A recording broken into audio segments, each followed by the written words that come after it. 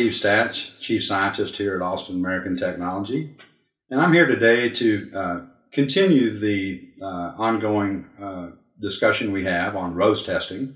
And this will be part two on how to select a new and better ROSE testing extraction solvent. First off, what is the need for the new solvent? Let's talk about that for just a second. The, you know, 40, 50 years ago, whenever this method was developed, the ROSE method, the primary flux, and really the only flux that was available at the time, was a rosin-based flux that was hand soldered or wave soldered onto a board. And since then, quite a bit has changed. We have new types of fluxes, no clean, uh, low residue, no clean, high residue. We have water soluble fluxes. We have many different kinds of fluxes, most of which are not necessarily even rosin based anymore. They go through a much more aggressive heat cycle than they used to. They go through a longer heat cycle and they may go through repetitive heat cycles where we heat them up over and over again. The end result is the residues we deal with today are much different than the residues we dealt with 50 years ago. And because of this, we need to look at a new solvent for extracting these residues and measuring the amount of ions left on the circuit board. To do this properly, uh, we need to look at the IPC standards. And the current IPC standards, uh, TM 650, uh, call out for a mixture of isopropyl alcohol and water. And as I mentioned earlier, the rosin-based fluxes, which were used many years ago, work just fine with the, the isopropyl alcohol and water mixtures. But the newer fluxes, the ones that go through multiple heat cycles, or you know, just don't work basically with the isopropyl alcohol and water. Rarely do they work and it leaves white residues behind. It doesn't do bulk removal. It really only looks at the surface residues when we're using these types of solvents today on modern fluxes. So this leaves us with the need for a new solvent and one that is tuned to the uh, chemistry and the physical properties of the residues that we have on circuit boards today. So if we're going to look for another solvent, what are we going to look for? We're going to look for, first of all, we're going to look for a solvent that will dissolve the residue that we want to measure. Now, there's a secondary consideration that's very important also. And that is we want to pick a solvent that will not affect the other materials on the circuit board. We don't want labels coming off. We don't want organic materials melting. We don't want, you know, glass seals cracking or corrosion occurring or anything like that. We don't want those kinds of things to happen to the materials that the product's made out of. In addition to that, we want to select the solvents for good safety parameters such as flammability, toxicity, you know, stability, reactivity, and those kinds of parameters. If we end up with a, the right solvent, then what we're going to have is we're going to take off the bulk flux residues off of the circuit board or the other uh, materials of concern, and we're going to end up with a clean board without the materials that the board's constructed of being affected. So what parameters would we want to look for in looking for a new ROSE extraction solvent? The primary parameter, of course, is, is one of solubility. We want the new extraction solvent to dissolve those materials and those soils of concern to us. And that would be the fluxes, the finger soils, plating solutions, and things like that and that we might worry about being left on the board. And in fact, we want to take the fluxes off and we don't want to affect the surrounding materials, as you can see in this before and after uh, photo here. So that's what we're after when we're looking for a new solvent for ROSE extraction. All right, in order to understand the solubility properties of materials and solvents, we kind of have to take a look at the physical properties that really govern this. And there really are three physical properties related to the materials, the, the, either the materials, the solid materials, the materials of construction, or the solvents or the residues. There's three properties that are common to all that determine the solubility. The first property is its hydrogen bonding parameter.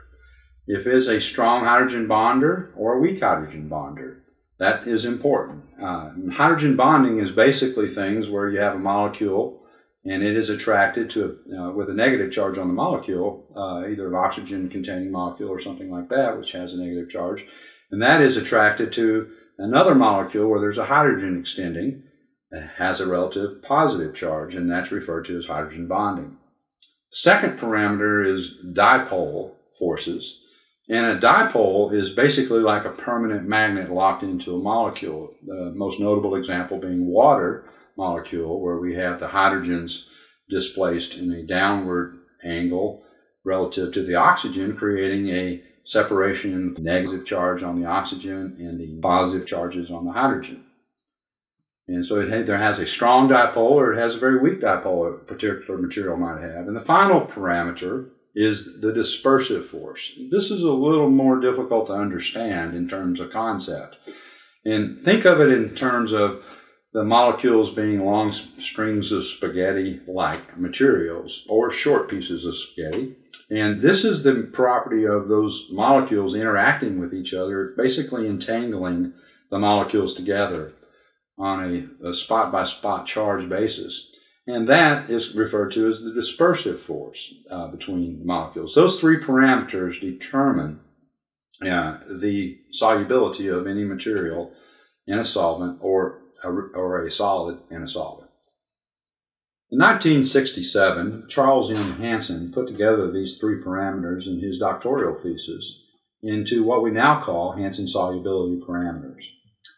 And in the next chart here, we're going to look at the Hansen solubility parameters, the dispersive, the hydrogen bonding, and the dipole forces for various solvents. And as you look at the solvent list here, you can see that we have some common solvents used to clean circuit boards and metals and things like that.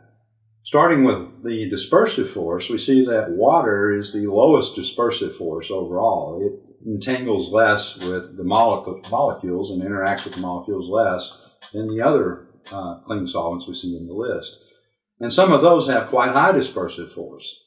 For example, N-methylpyrrolidone, has an 18 on, on the scale. And most of these range between 0 and about 25 on a high in terms of the arbitrary scale that's set up for Hansen solubility. The polar forces that we see here for the solvents, uh, for water, it's absolutely the highest, as we would expect it to be, you know, water being the most polar solvent that we have. And the other solvents are less polar, down to the hydrocarbons, which have no polarity at all, 0.0. In the hydrogen bonding force uh, section, we see that we have some materials here with good hydrogen bonding. Of course, water has very good hydrogen bonding. And, you know, the hydrocarbons, again, are very low, and uh, so are things like D-limonene and things like that. So, again, the parameters change quite a bit on these three parameters for solvents. Materials have Hansen solubility parameters just like the solvents do. And as we look at the parameters for selected materials that we have, we look at this chart, we can see that, you know, the materials of construction that we'd normally build uh, our uh, circuit board out of have a lot different parameters, let's just say, than the solvent parameters we looked at earlier. The epoxy has a very high dispersive force in the 20s, and so uh, does a lot of the other materials that we use to build our products out of. And the hydrogen bonding forces even go negative on things like isoprene isomers and things like that. The polar forces can go negative as well, for example, with the polyamide. So we see a lot of difference in the, the, materials of construction than we do in the solvents. That's a good thing because that would indicate that we're not going to affect these materials in general. But we want to look at specific matches between solvents that we might be considering and the materials we will be using on our circuit board to make sure we do have good separation and that gives us confidence that we won't interact or affect those materials. Now with flux residues, we really just can't go look them up in a, in a table like we are with the materials and the solvents. We have to go determine the parameters in the laboratory or in, through testing. And the reason is, is because each one of those flux residues, the solubility of that residue is dependent on the heat cycles and the age of that flux residue. So if it has gone through a very high temperature heat cycle, it's going to be more difficult to remove than a low temperature heat cycle. And if it's gone through multiple heat cycles, it's going to be more difficult to remove than a single heat cycle. So what we have to do is we have to create those residues that we want to know uh, how to dissolve by making them up through a heat cycle. Take those residues and put them into known little jars of known solvent where we know the Hansen solubility parameters. And then we leave them in that solvent and we agitate them a little bit over time, and we see what dissolves, what solvents do dissolve the residues, and what solvents don't dissolve the residues. And by that, we can then determine by that interaction between the solvents approximately where the Hansen solubility parameters for that residue is. And through software available today, you can actually pin it down uh, to exactly where it is in the regions that it is. So if we look at the some of the flux residues in this table right here that we have previously measured by this method, we have several no cleans, no clean one through five basically, and then we have a lead free, a couple lead frees, and a couple water solubles. And if you look at the Hansen solubility parameters for those uh, fluxes that we determined, you can see that uh, some of them are very plastic-like. For example, no clean number one has a dispersive force of almost 25. That's very similar to plastics that we don't want to damage and we don't want to affect.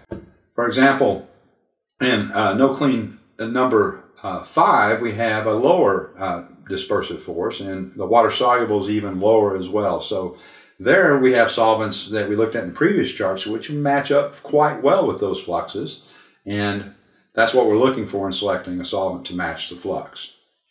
So some of them are going to be tough. The ones that are really plastic-like, you're going to have a hard time picking a solvent and getting it to dissolve that residue without affecting the other materials. So in those cases, we're going to have to add energy and that will expand what we call the fuzzy ball, which we're going to talk about next. So now if we take this uh, Hansen solubility data and we plot it three-dimensionally on three axes, we call this, by the way, Hansen solubility space. So in that plot, we're going to see that we have the solvents plotted in there. We know what the values for the solvents were, and they're indicated by the little dots, the red and the blue dots. The green large circle that you see here is the interaction zone between the flux and those solvents. In the case we're looking at here, it was not a very soluble uh, flux residue, one that was plastic-like and very difficult to remove. And there were only, you know, just a very few solvents that really interacted with that flux. And those are shown in blue, the solid blue being that it did definitely dissolve it, and the fuzzy blue balls being the ones that just interacted that maybe softened it or didn't completely dissolve it but did interact. The red balls being the ones that didn't interact at all with it. When we look at different fluxes, we can go from a difficult to remove flux like this to one that's uh, more moderate flux, one that's easier to remove. And we see that that ball expands out, that interaction zone expands out. Now instead of just one or two solvents interacting, we have five or six solvents interacting. The interaction zone has expanded significantly, so potentially there's a lot more solvents that could work with this flux. And if we want to further expand that interaction fuzzy ball, the green ball, we can add energy to the system, heat energy or physical energy, which would further expand out and bring in even the ones that were marginally on the fringe of that, that green interaction zone into the the possible choices that we want to make for our new ROSE testing solvents. In summary, we have talked about the need for a new ROSE extraction solvent.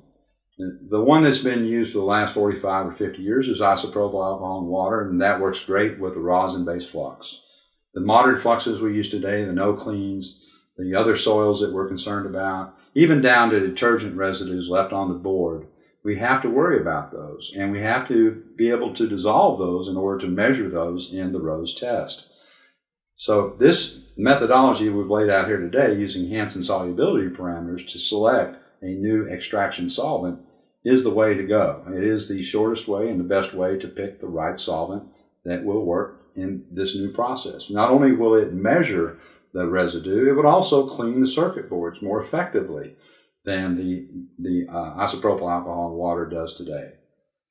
So I thank you very much for your attention. Uh, look forward to uh, seeing you in our next uh, film, which will uh, discuss the calibration of a new solvent system once you've selected it so you can get truly uh, good analytical results out of that test method. Thank you very much. And if you have any further questions, feel free to contact us at Austin American Technology or at, at the uh, phone numbers uh, that you see here below. Thank you again. Have a good day.